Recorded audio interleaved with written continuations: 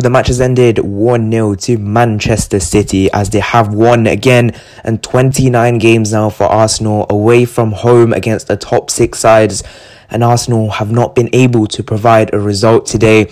And again, it's the same, same old story. You know, um, you know, we stayed in the game for most of it. You know, uh, I said this after the Anfield game, after the Liverpool game. You know, we all knew. You know, we stayed in the game for most of it. You know, if Lacazette is cha- uh, taking that chance in that game, we could be winning it. Similar story here. You know, if we take one one of our chances uh, we score. But not a lot of chances created, and this just issues the same same problem that we've been having this season, and that is the inability to create chances. You know, in this game, you know, the only sort of attacking prowess, you know, the sort of desire to go forward, you know, was Tierney once or twice down that left hand side, and Bukayo Saka once or twice down that left hand side in that period uh, towards the end of that first half. Other than that, we were very, very flat in that game, and uh, it was just not enough. We have to create more chances. Uh, I thought we took, uh, saw Thomas Partey way too late.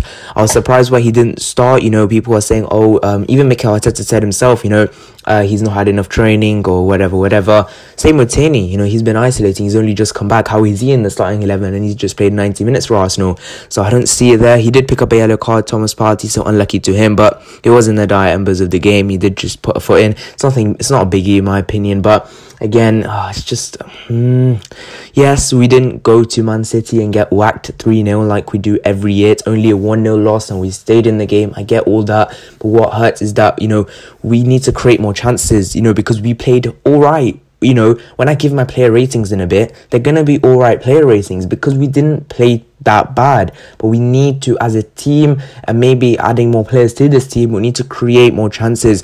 And the only way we're gonna do that if we have the right personnel to do so. Um, in this game, I was kind of baffled with how we lined up up front.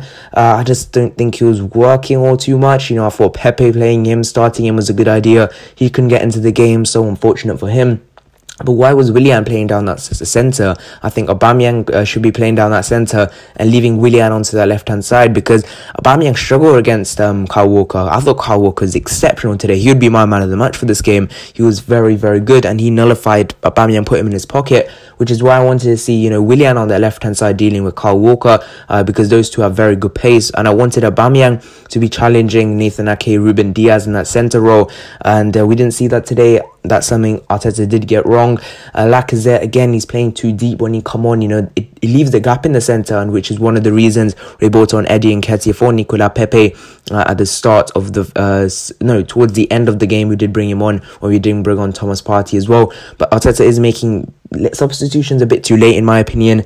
But yeah, he lost um, in this game. Oh, it, it, oh, we need to create more chances. And uh, yeah, let's get straight into the player rating. So first of all, Bernd Leno, uh, but Leno again, he played alright. Um, he he saved some chances. I think for the first goal, mm, he's done that before as well, where he just he just parries it out to the other striker, which again, oh, come on, you have to be doing a bit better than that, don't you?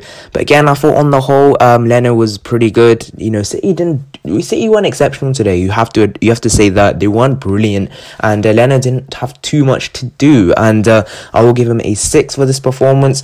Uh, going on to the right hand side, Hector Bellerin. Bellerin again played alright. He was decent. I, I, can't really say much more than that. The one time where he literally dived in for Raheem Sterling wasn't great. Um, he kind of just lost his man completely there. But I thought on the whole he did okay. So I'll give him a five moving into what was a back three when we were defending, and it was a back four when we were going forward. So I'll mark it as a back three.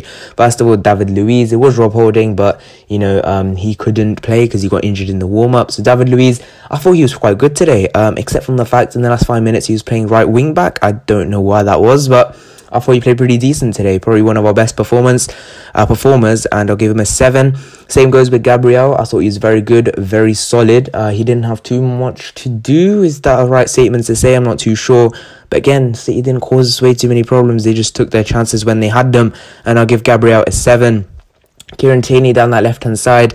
Again, he he did all right. He just did okay, I guess. He did get twisted and turned by Riyad Mahrez. Obviously, that first chance in the first two minutes of the game. But other than that, it was just a, half decent performance. You know, towards the end of the first half, he was making those good runs, um, injecting a bit of uh, urgency into the team. But he should be doing that more often, which is why I don't want him to be, you know, playing as a, a left centre back when we are defending. I want to see him as an out and out left back or left winger, left wing back. Sorry, which is why I'm going to give Tierney a six and a half. Uh, moving into the midfield now with Dani Ceballos. And Dani Ceballos, I thought was pretty good uh, today.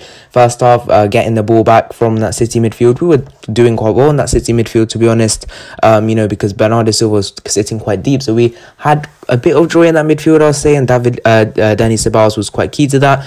Had a decent game. We'll give him a 7. Granit Xhaka, again, played okay. Nothing special. I'll give him a 5. Bukayo Saka, again, I, I thought he was brilliant today. You know, he was creating a lot for this team. I want to see him playing number 10, to be honest. Um, that's where he can work his intricate passes and uh, passing play in and around the box. But again, we're not doing anything too much creatively.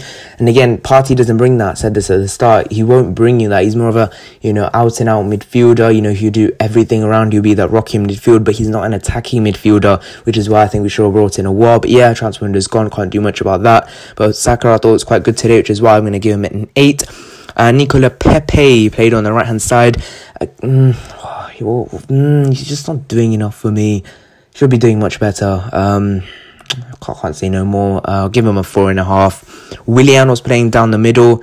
I didn't see the point of that. Didn't do too much wrong. Didn't do too much right. We'll give him a five.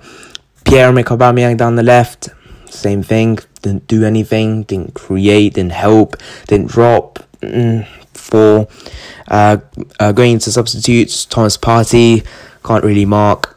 Eddie Nketiah can't really mark. Lacazette, I'll give a six. I thought, I think, I think he's played alright. You know, dropping into midfield, playing in and around, playing intricate passes, doing that kind of thing. But again, we need him to play up front, and which is why we need an attacking midfielder that can link Lacazette uh, to the midfield rather than him dropping into the midfield, having to collect the ball, which is something I don't want to see. I don't want to see that. I want to see, you know, uh, an attacking midfielder putting balls through. You know, that is where I think I'm, we miss a player like Mesut Ozil. I'm not saying we're missing Mesut Ozil, but I'm saying we're missing a player like Mesut Ozil, and maybe someone like Joe Willock could have done us good today in a sense that he would bring us some energy, some uh, urgency, because we missed out for a lot of that second half. You know, Leicester City they came out, you know, they they um conceded first in that game like we did today, but in the second half they came out, you know, firing, you know, all uh, open horses just flying at Manchester City, going for the kill. And I think if we did that in the second half, maybe we could have had a similar result to what Leicester had. Yes, they do have attacking players like attacking midfielders like you know you have Maddison, you, even Tielemans gets forward. They have those sorts of players that we don't. Again, we have to be doing much better. So that concludes my match reaction and player ratings for this game. Leave your thoughts in the comment section down below. Would you agree or disagree? Uh, I'm open to all suggestions. Sorry for the lack of uploads. It's been a very tiring last few weeks for me, but over the next two weeks. Hopefully, you will be seeing a lot of more content from this channel. But yeah, see you guys next one. Bye bye.